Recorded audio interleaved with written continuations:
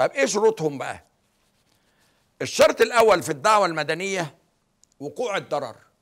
ده ركن أساسي من اركان إقامة الدعوة يعني لازم يكون قد أصابك ضرر. وهذا الضرر لابد أن يكون محققا لأنه ركن أساسي في الدعوة المدنية. ويجب أن يكون ناشئا عن فعل جريمة. ده بالنسبة للدعوة المدنية المرتبطة بالجنح بالجريمة. لابد أن يكون ناشئا عن جريمة. نضرب مثال. واحد ضرب واحد. كسر له دراعه. هنا كسر الدراع يعتبر ضرر.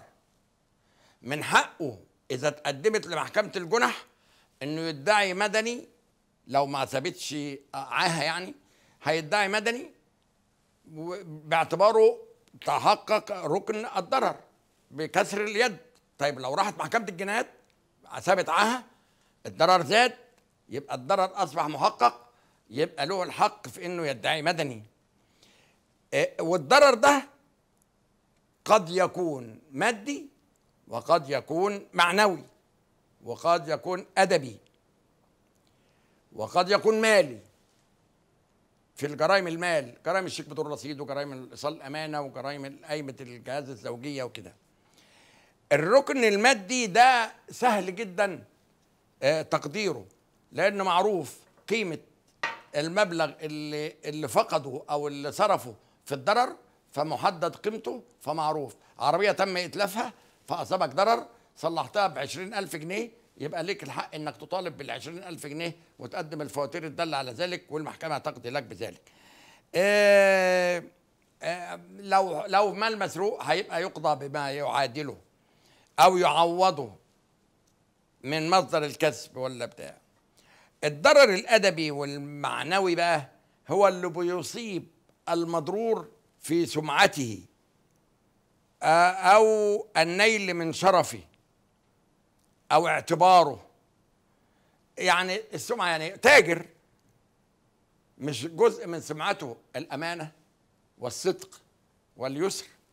فإذا ما أصاب التاجر في سمعته أو في التشهير عليه أو في أو أو التشهير به أي أمر يبقى ده أصيب بضرر في سمعته وهذا الضرر في القانون يسمى الضرر الأدبي أو المعنوي. آآ آآ مطالبة التعويض لأم فقدت ابنتها في حادث سيارة. طفلة عربية موتتها. الأم الضرر اللي أصابها هنا هي الطفلة كانت بتعولها يعني معقول الطفلة كانت بتعول الأم علشان نقول فيها ضرر مادي؟ ها؟ لا لأن محل الدفع بالمسؤولية أنها كانت الصغيرة لا تعول أمها فإن قتل الأبناء يسبب لوعة وحسرة مما يسبب لهم من الألم المبرح الذي يستوجب التعويض. يعني معيار الضرر بيتقال في إيه؟ لو أنا فقدت أبويا أو لو واحد فقد والده هنقول الضرر اللي أصابه ما فاته من كسبه وما لحقه من ضرر من خسارة إن هو كان بيصرف عليه من اللي هيصرف عليه ومن اللي هيتولى رعايته ومن اللي طيب لو عكسناها موت الابن بيصيب الأب بضرر إيه؟ مفيش غير اللوعة والحسرة اللي بتبقى أكبر من إنه يفقد العائل اللي بينفق عليه فيوجب التعويض. آه طيب.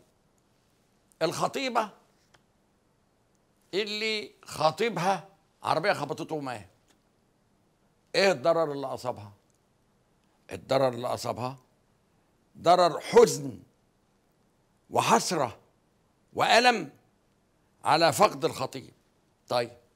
في كمان ضرر مادي. إيه ما تم إنفاقه من تجهيز للعروسين من عفش ومن منقولات ومن ومن شقة ومن ديكورات ومن كل دي مصروفات كانت هتكمل الفرحة والخطيبة تبقى زوجة. فده أصابها ضرر. اللوعة والحسرة والألم وما تم من إنفاقه لتجهيز العرس بين الاثنين ده نوع من أنواع الضرر ال- ال- ال- ال- المؤلم وأنا بدي النموذج اللي مش معتاد إنه يتسمع لأنه أحيانا الناس كلها يا عم ده كانت خطيبته ده ما فيش ما يفيد إنه كانوا كاتبين الكتاب ده ما فيش ما يفيد إنها كانت زوجة ده هيبقى الحق للوالدين فقط.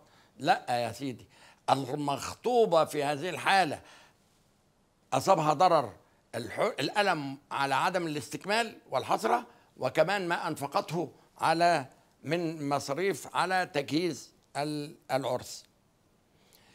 المادة 222 من القانون المدني قالت يشمل التعويض الضرر الأدبي أيضا لكنه لا يجوز أن ينتقل إلى الغير. الضرر يشمل التعويض. الضرر الأدبي بس الضرر الأدبي ده ما يتنقلش إلى الغير هو خاص بالشخص نفسه.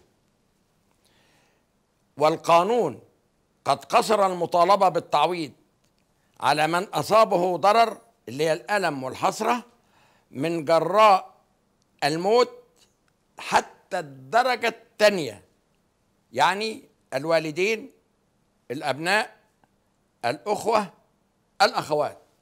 خلفهم ما يبقاش له حق في طلب التعويض. ده طبقا لنص المادة 222 من القانون المدني. أنا بس بتناول بإشارات سريعة لأن هذا الموضوع ضخم وسمين ومحتاج كل عنصر من دول شرح بضرب الأمثلة لكن أنا بقدر الإمكان بضرب أمثلة حتى تصل إلى ذهن المشاهد في مجال التطبيق العملي في أمام المحاكم.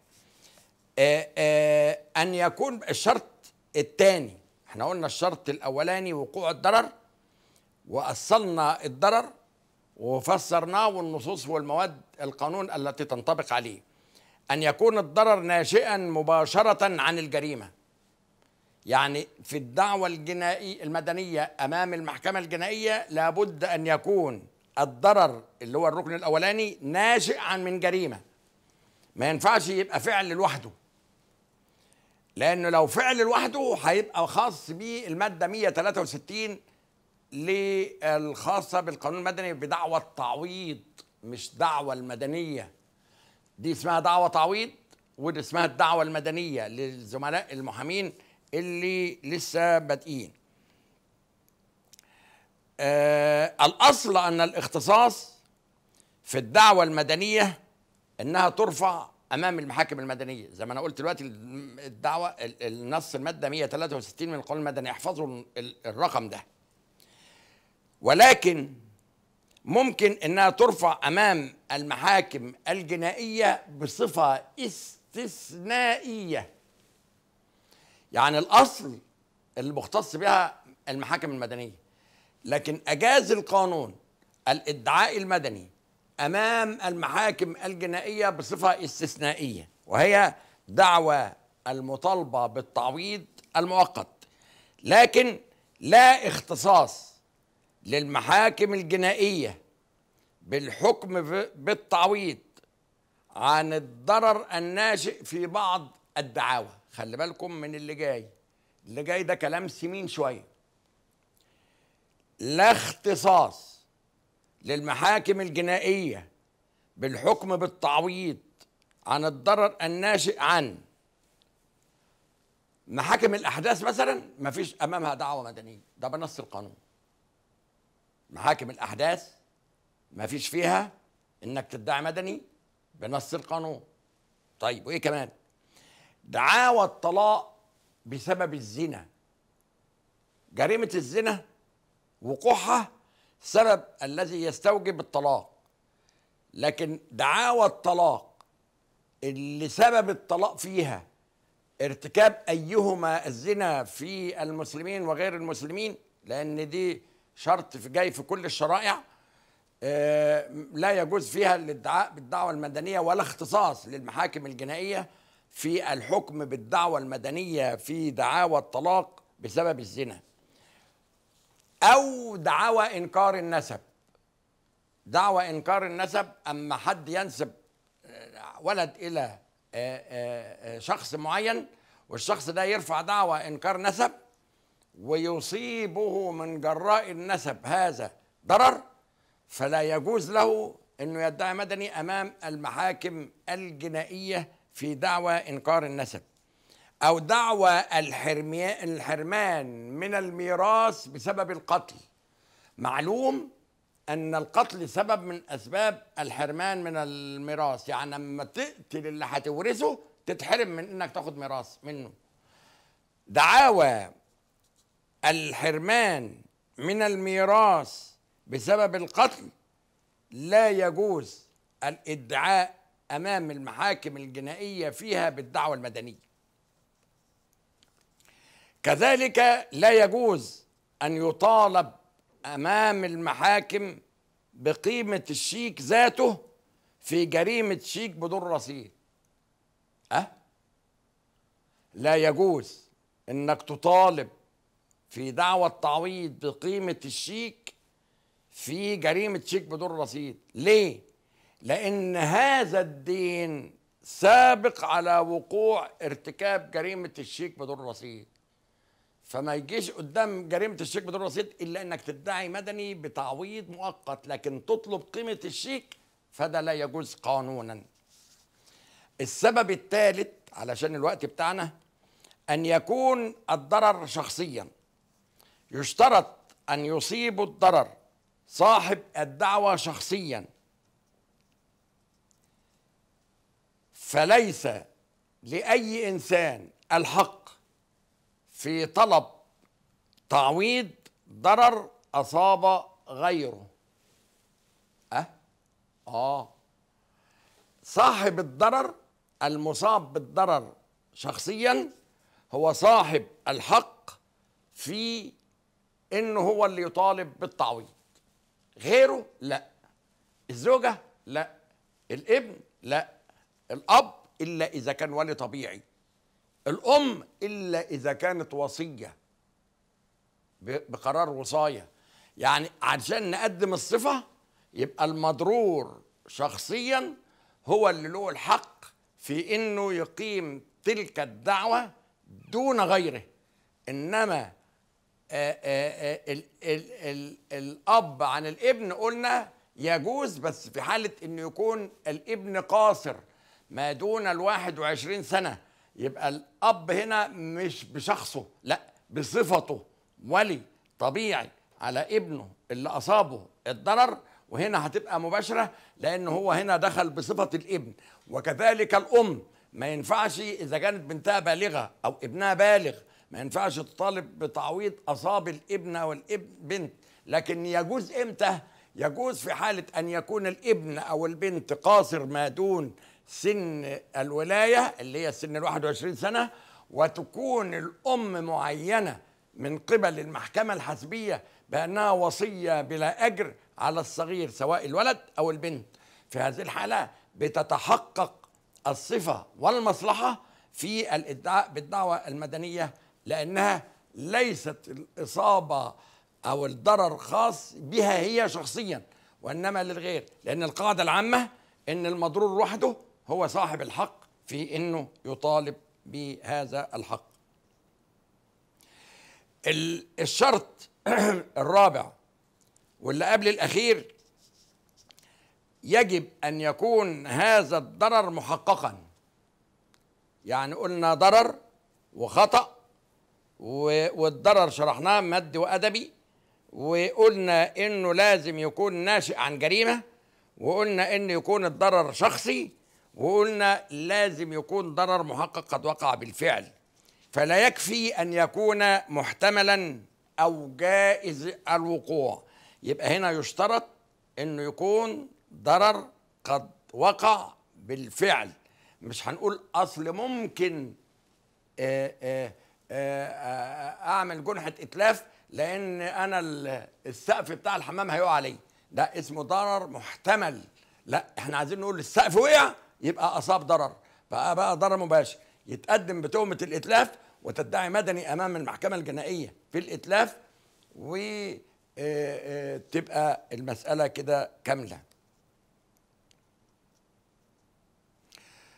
السبب الأخير بقى أن يكون هذا الضرر قد أصاب شيئا مشروعا يحميه القانون. ما نجيش بقى نقول آه، ضرر أصابه من آه، تجارة غير مشروعة في المخدرات. ما نجيش نقول ضرر أصابه في آه، مصنع شغال بدون ترخيص. ما نجيش نقول واحد في سرقة الكهرباء ضرر أصابه من إنه صعق بالكهرباء المسروقة. يبقى لازم إن يكون الضرر قد أصاب المضرور بسبب مشروع يحميه القانون. يبقى في الحالة دي ال- الأركان اتكونت.